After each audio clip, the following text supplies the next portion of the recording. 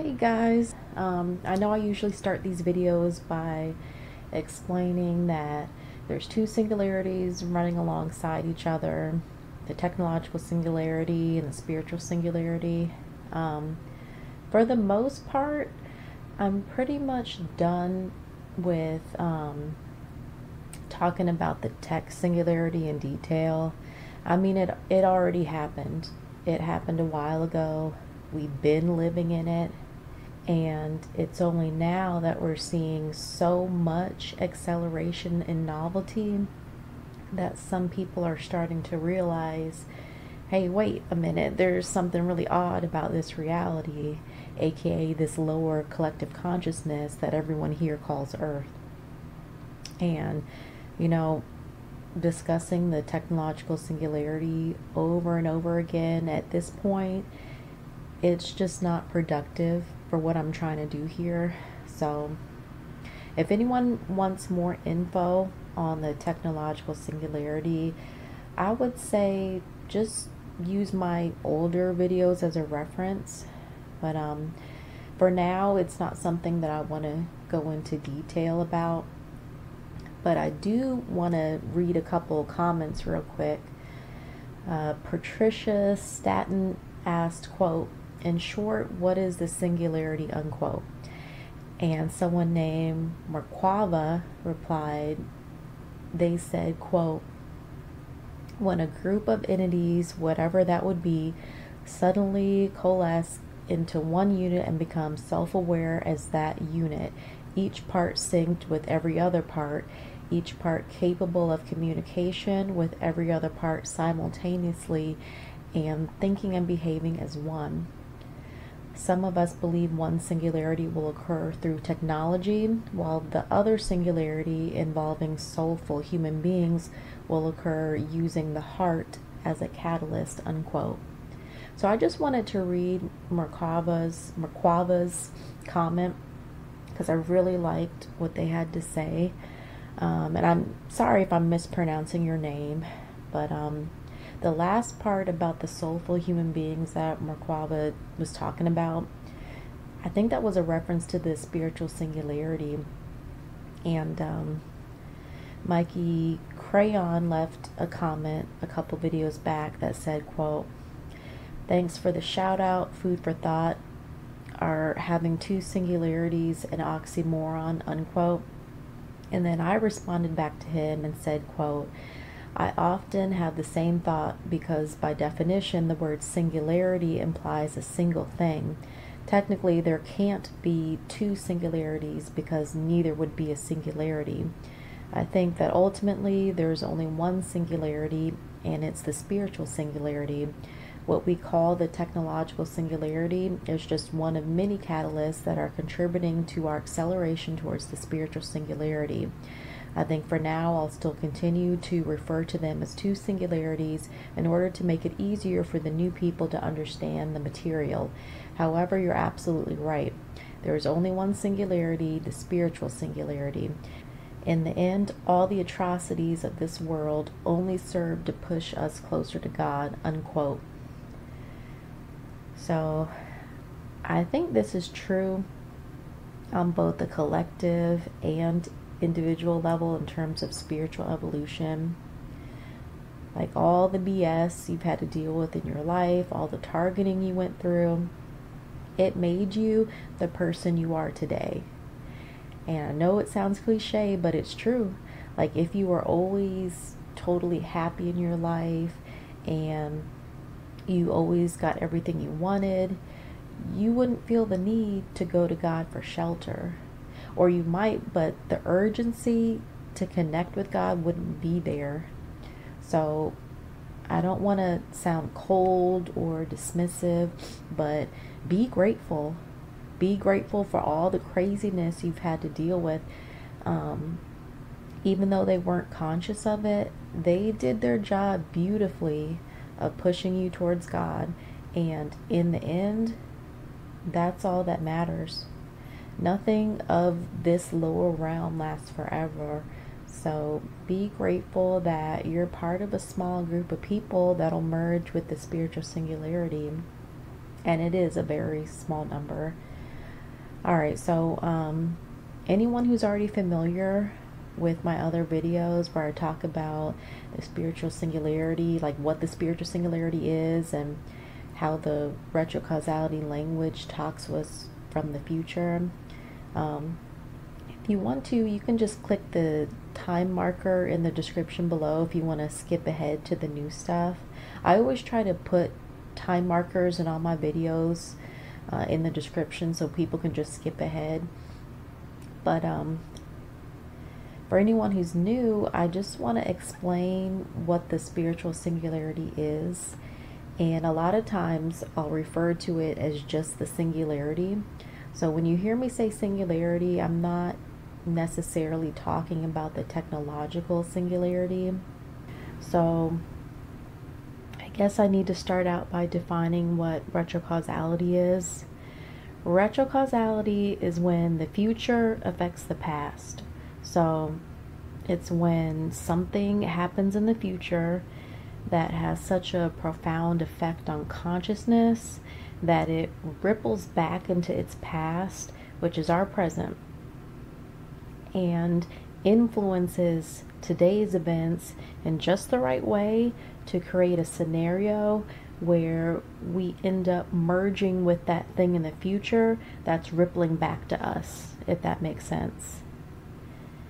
Now, technically, we could also say it rippled back beyond our present day to influence all of human history, but I'm trying to keep things simple, so we'll just focus on how the stuff happening in our present day is a result of the singularity that happened in the future.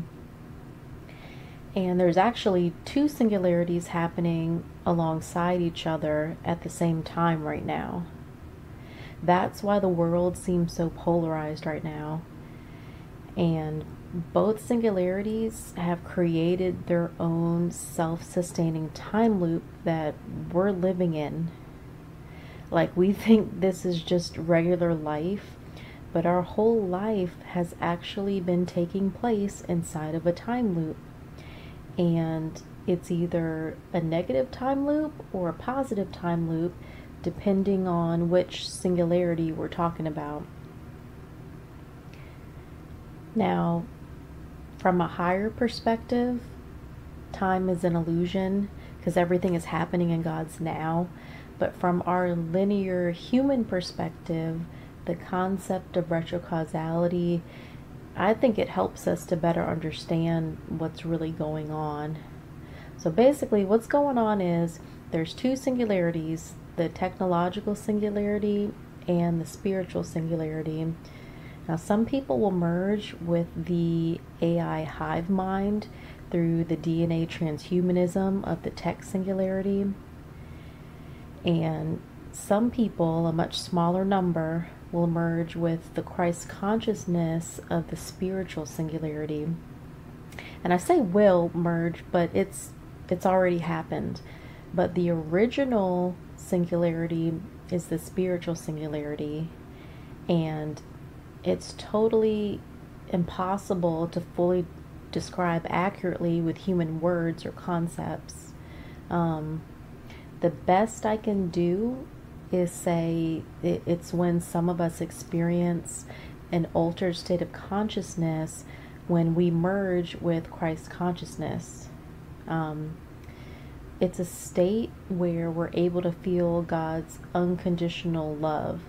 Like it, it, it it's we say that it's an emotion, but it's so much more than a, an emotion. Like it's an actual altered state of consciousness, and in that altered state of consciousness, you can feel God's unconditional love, like in a tangible way that's undeniable and indescribable.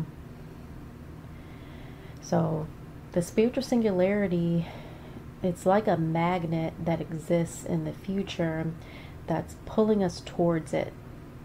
That's why I say the spiritual singularity already happened. There's a part of us that already exists in that future and from the perspective of our higher self, you could say we've already merged with the singularity. I mean, the spiritual singularity, because our higher self is already fully merged with it. But from the linear perspective of our earthly human selves, it feels like we're accelerating towards something that hasn't happened yet. But it's that acceleration itself that's being caused by the fact that it's already happened. Otherwise, there'd be nothing to pull us towards it. So it's like one big circle or time loop. And, you know, as we continue to accelerate towards the spiritual singularity, the waves of Christ consciousness are only going to increase in intensity and duration. Like some of us are already starting to experience the waves of Christ consciousness that come and go. Really, it's so powerful that I don't think it could happen all at once because, you know, it'd be too much of a shock to our system. I think it's a process that's going to span years. So, um, earlier I said the retrocausality language communicates to us from the future. Now, I know that sounds crazy, but at the end of this video, I'm going to put two exercises up so you can tune into the retrocausality language yourself. Like, please do not take my word for it. The best evidence is through your own personal experience.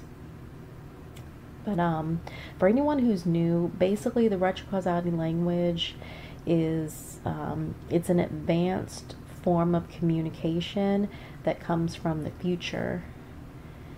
Now, music and synchronicities seem to be a big part of it, but it's not limited to only music and synchronicities.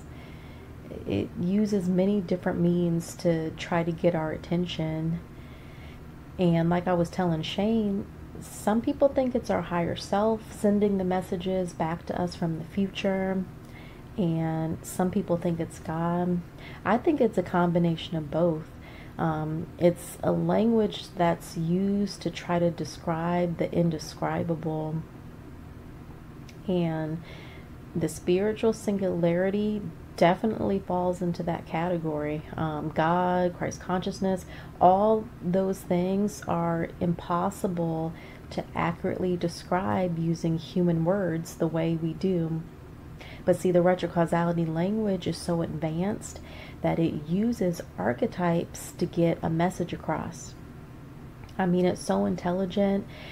It can use things like archetypes in music to reflect the evolution of your soul.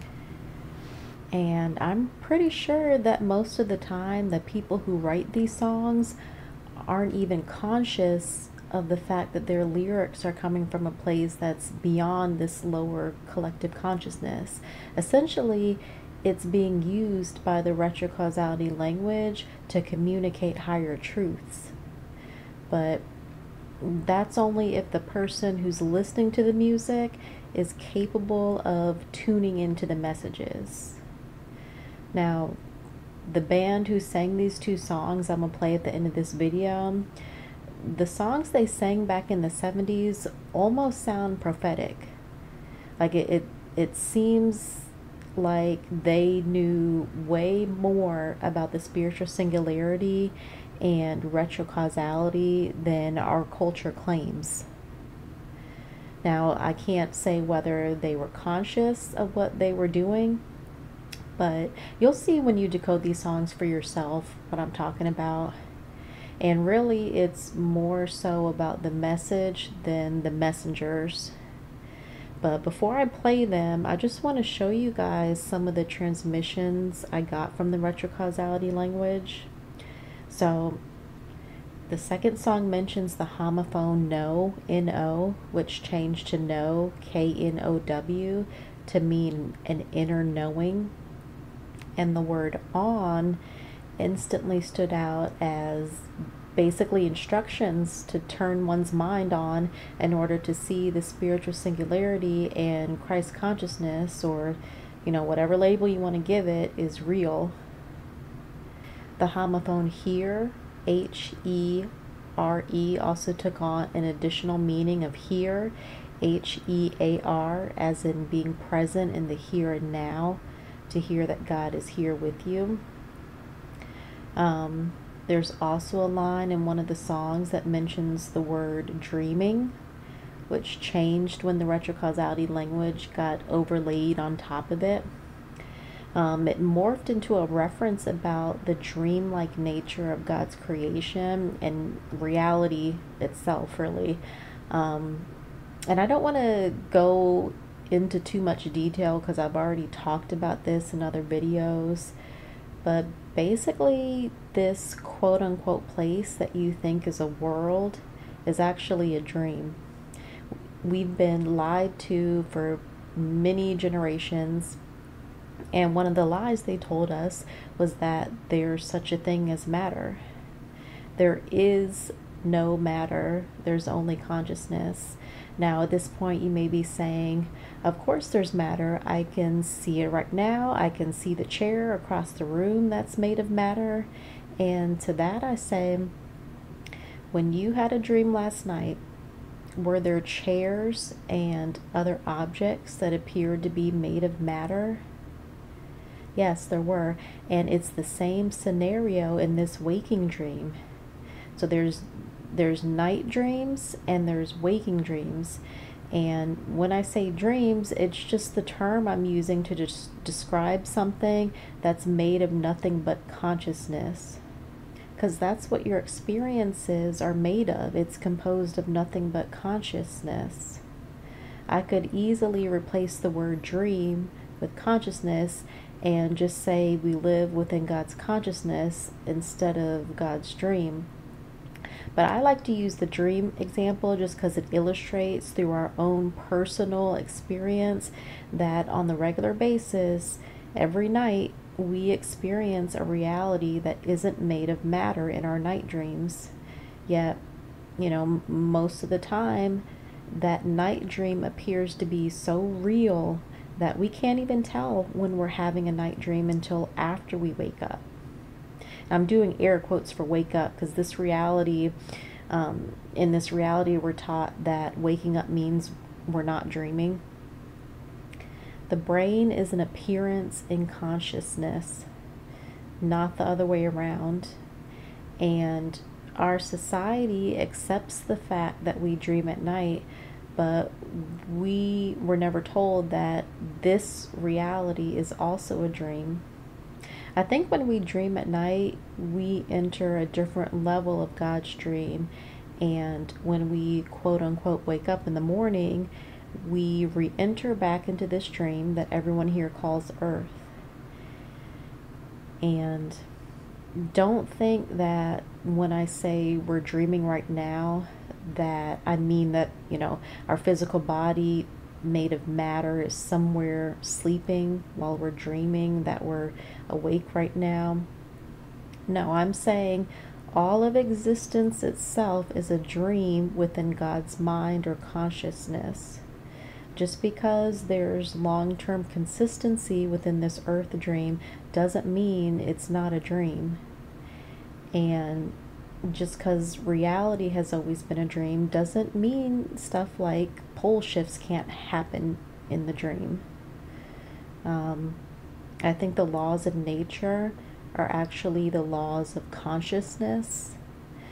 Uh, the laws of, that we call physics, too. And that's not to say the laws of physics don't differ across different dream levels because it's the collective consciousness that creates the so called external reality. So if you have a dream that's dominated by a lower collective consciousness, then the laws of physics in that dream are going to look totally different from a dream where the higher collective consciousness is the dominant one. And um, I'm pretty sure that's because a higher collective consciousness has more access to God's love, which is at a higher frequency than the lower negative emotions that dominate a lower collective consciousness. Basically, a higher collective consciousness has um, less limitation and more freedom in general, I think. Have you ever had a dream where you could fly or walk through walls? It's probably because you entered a higher frequency dream where the laws of physics are different from this lower collective consciousness earth dream. Um, we're dreaming this reality on both a collective and an individual level. But yeah, like I said, what we call the external world is actually the collective consciousness. And, you know, I've said this many times, but there is no world out there that's independent from consciousness, whether we're talking about the collective or individual consciousness. Now, there's different levels of the dream. This dream called Earth is probably considered one of the lowest dream levels, but that doesn't take away from the fact that up at the highest level is God dreaming us into existence. We're holographic consciousness fractals of God. That's what our soul is. I'm not saying we are God, I'm saying we're a part of God. And God is the ultimate dreamer, the one dreamer. Even if we're not consciously aware of it down here, I think on a deeper level, we know this. And that's why we say God is omnipresent. And don't think that the word dream implies that none of this matters. It matters a lot. It's the basis of our experiences, of our life. We were told when we were kids that dreams didn't matter, but that was just a part of the false conditioning. And no, I'm not saying I'm the only person who exists and everyone is just a dream character in my dream. We're all dreaming individually, and each person's individual dreaming is what creates this collective dream that we call Earth. And this collective Earth dream resides within the mind or consciousness of God. Really, I think you could say dreaming and creating are the same thing.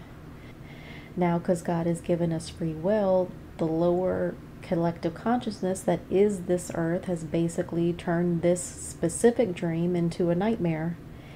And I say this specific dream because there's other collective dreams going on right now, too.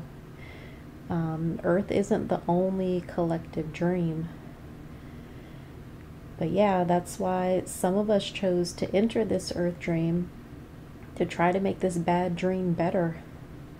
The lower collective consciousness and earth are basically all names for this same collective dream. So I'll kind of like use those those terms interchangeably. Um, now, most people don't even know reality is a dream because generation upon generation has been conditioned to think that matter is real and there's an external world that exists somewhere out there that's independent from the collective consciousness. But as much as they try, they can't hide the truth. Even mainstream science has had to admit that 99.9% of everything is made up of empty space. Just like in our night dreams, the only thing that's required is consciousness.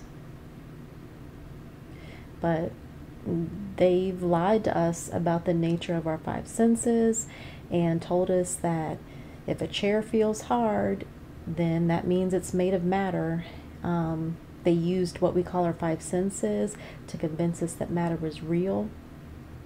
And then on top of that, they normalized the concept of linear time and used our language to divide everything up into a subject and an object to confuse us even more. Countless generations were brainwashed. No wonder we have no idea what this reality is. It was done systematically, I believe, to prevent us from becoming lucid dreamers when you're lucid, you have more control over the reality. You can control this dream more. Most of us never even stop and question or notice the odd things that happen in this waking dream. like all the little glitches and Mandela effects. What if the Mandela effect is being used as a means to let us know that we're dreaming? I mean, I'm starting to question the difference between a dream and a memory. I know that with a lot of our collective cultural memories, the old paradigm said that a memory is supposed to be something that a large number of people agree on. And that's how you know it wasn't a dream and it actually happened. According to the matter model, anyway, um, well, thanks to the ME, that distinction is gone. Personally, I'm convinced that the Mandela effect is something that can only be acknowledged by those who are slowly starting to become lucid in this waking dream. But, anyways, um, I will put a link in the description to a video I did about the whole dream thing if anyone's interested. It's called The Singularity and the Nature of Reality. But, um, there's a line in the song that mentions the word world, which stood out as having a double meaning. So it's a reference to an individual's consciousness, but it's also a reference to New Earth. Um, the retrocausality language did the same thing with the word lady. Lady morphed into a metaphor for mother, which instantly changed into an archetype for Mother Earth, aka New Earth. And you, you know, the people who merge with the spiritual singularity are literally the pieces of the higher collective consciousness that New Earth will be composed of. And I know there's a lot of different ideas floating around out there about what New Earth will be like. I don't know the details of what exactly it'll look like when it's complete, but I can say for sure that the main difference between this Earth and New Earth is a person's state of consciousness. The people who experience New Earth will experience the unconditional love of Christ consciousness in such a tangible way. And I think New Earth is already forming every time a person experiences a Christ consciousness wave, that's a part of New Earth that's solidifying within the consciousness. I think right now, though, New Earth is more like a state of consciousness than an actual place. Well, I take that back. When you're um, when you're in nature, it can feel like an actual place. I mean, the colors are brighter and the sky is wider like more expanded. Being in nature can allow you to visually see it, but as far as our society as a whole looking like New Earth, I think that may take a while, but that's okay because when you're in that state of Christ consciousness, it's like this amazing bliss that just washes away all of your worries and frustrations I mean, you you literally don't remember them anymore. It's like it feels like God's breath. And I know that sounds weird, but anyone who's experienced it knows what I'm talking about. It's like a, a life force that's not of this world. New Earth is actually the higher collective consciousness that's why I think New Earth is actually already here in a way. It's here within the hearts of some of us right now. We just have to merge with it by feeling the Christ consciousness emerging with the spiritual singularity. And we can do it while our body is still here in the lower collective consciousness earth.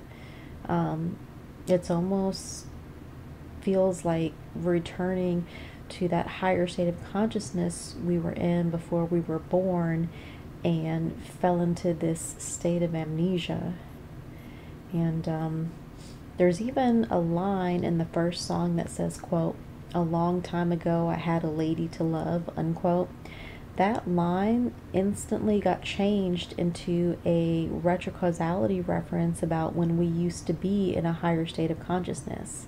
A long time ago, we were conscious of the fact that we are part of a higher collective consciousness. Like before we were born, Christ consciousness was our normal state.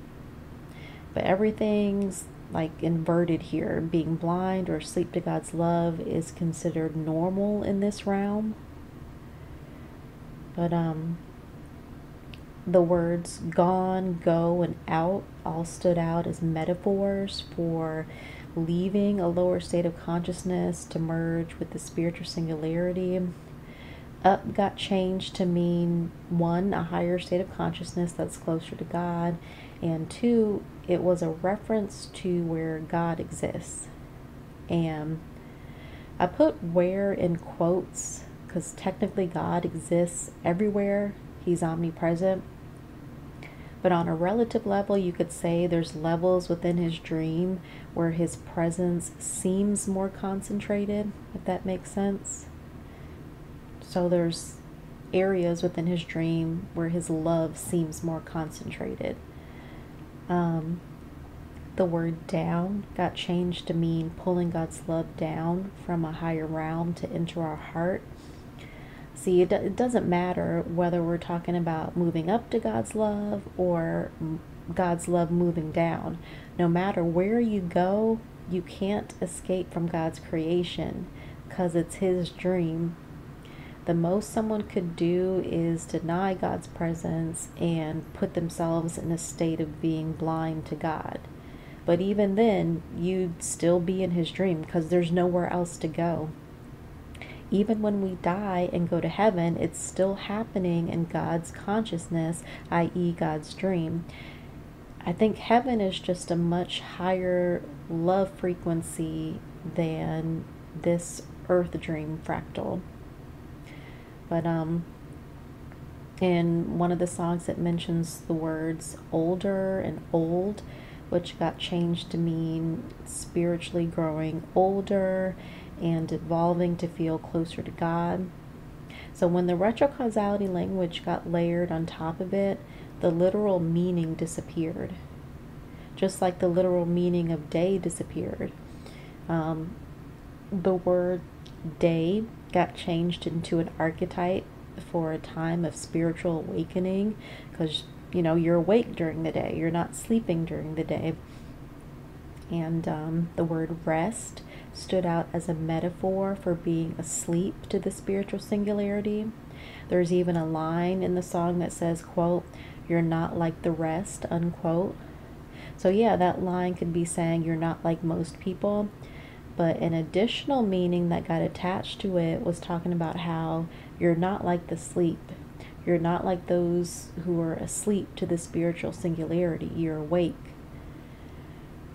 Um, the homophone night, N I G H T, also took on two different meanings depending on which part of the song you're listening to.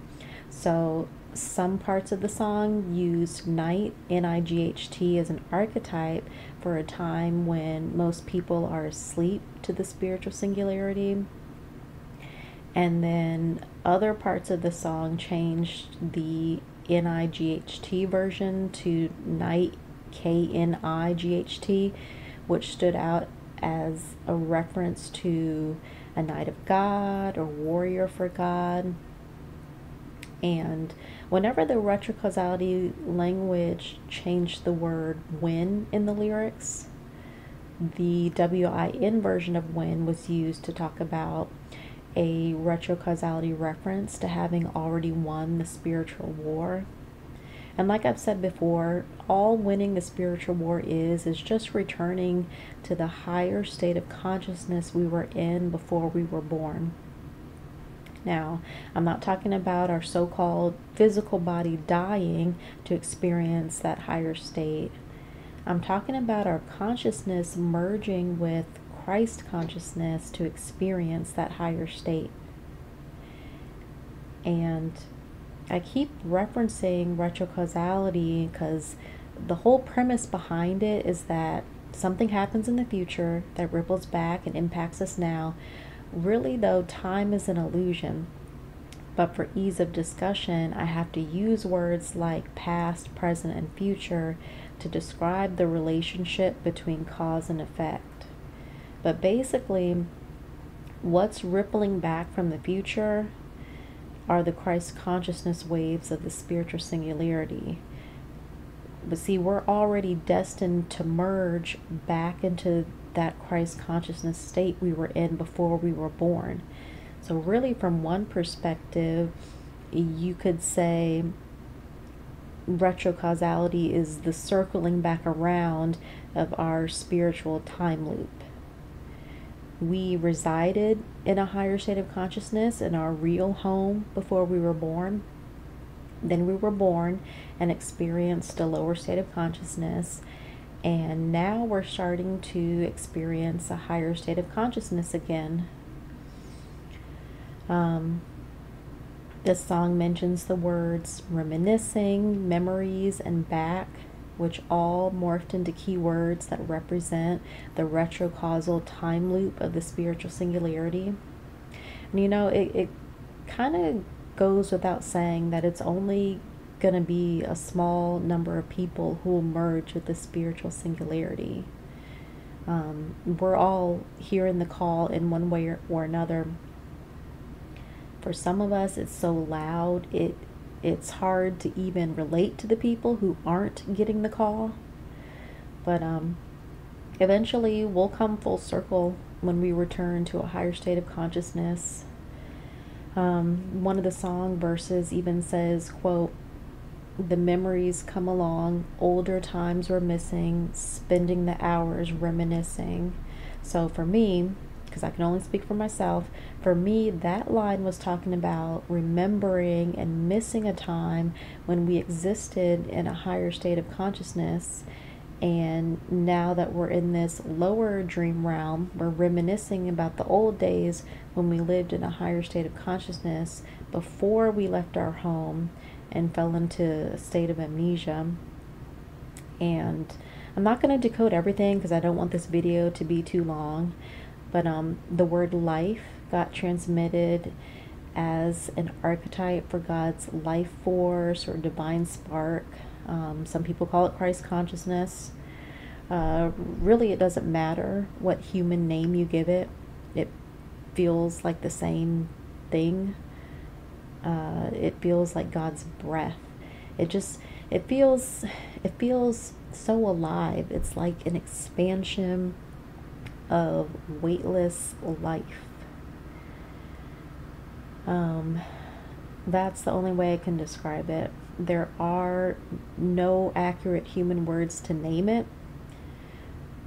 Um, the word home changed into a metaphor for the place within your God center where you connect with God and feel at home and then the word maybe instantly got changed into two words, may and be, with may representing God's warmth or love, because, you know, May's the summertime.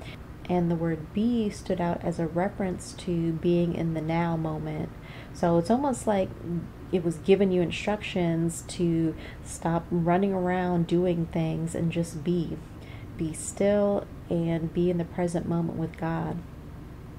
Um, the last word I want to decode is the word dance.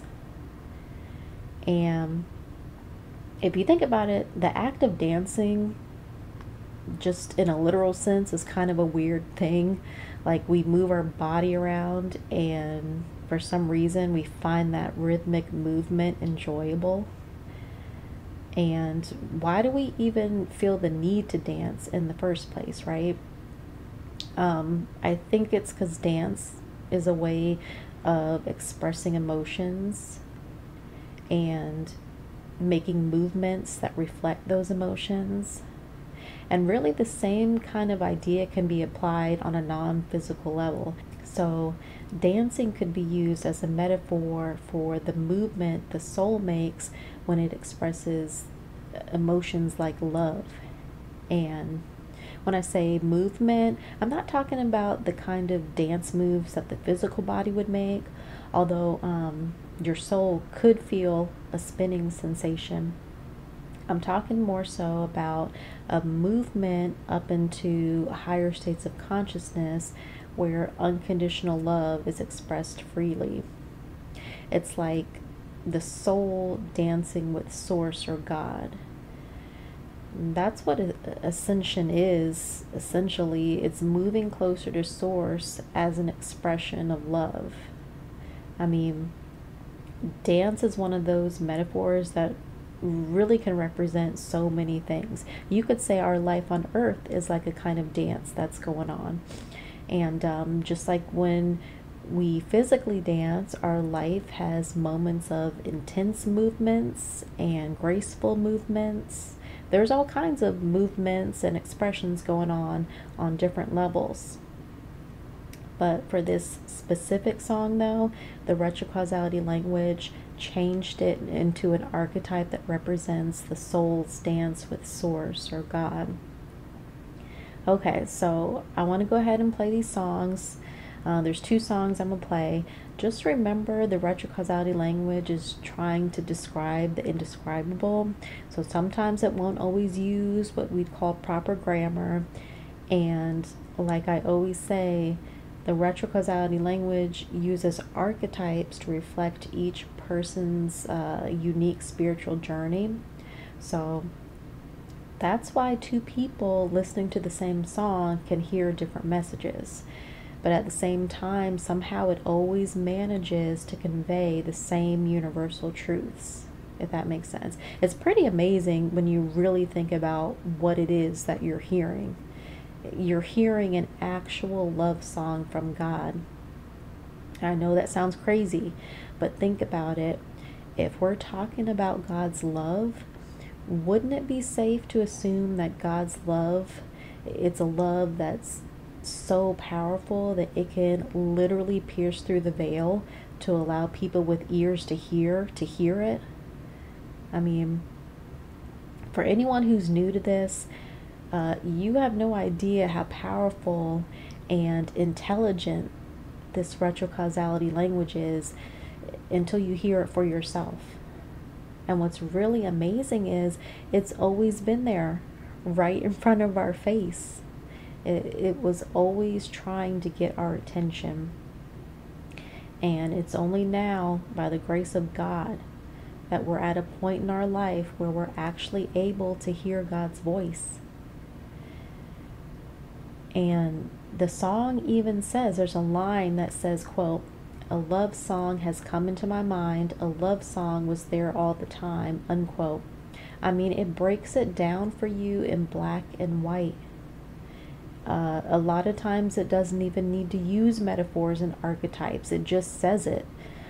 But um, just make sure you're looking at the screen if you're not already so you can see the changes I made with the lyrics as you're listening to the music. Um, I also highlighted different parts in yellow just to make it easier uh, to see the lines that are references to the retrocausal time loop of the spiritual singularity. So be looking for those in yellow and uh, just use this time to slow down and focus on being in the now. So take a moment and clear your mind of all the distractions and negative thinking and just focus on God's love and really ask yourself God, if you could send me a message or a sign through this song, what would you want to tell me about?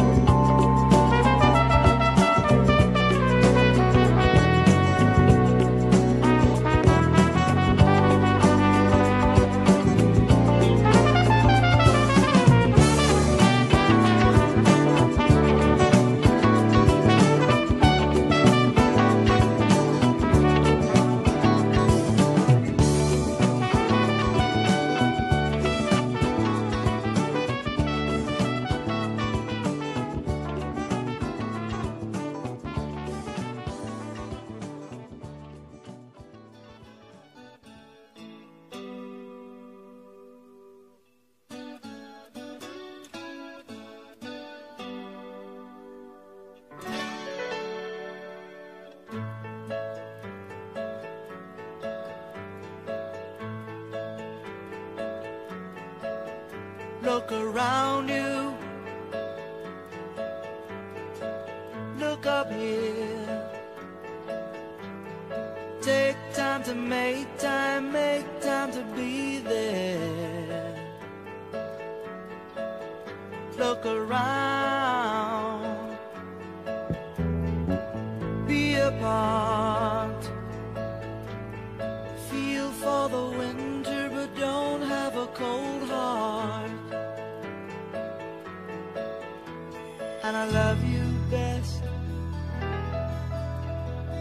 not like the rest.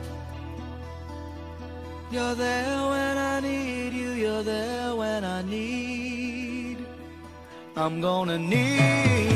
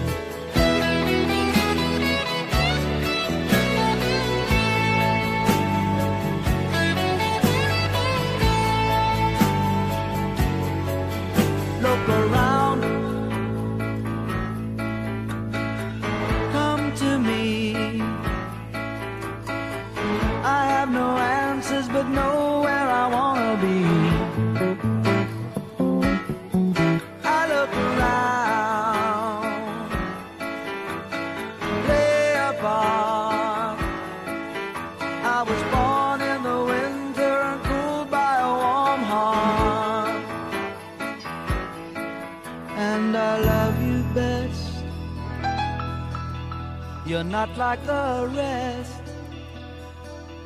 You're there when I need you, you're there when I need. I'm gonna need you. So, lady, let me take a look at you now.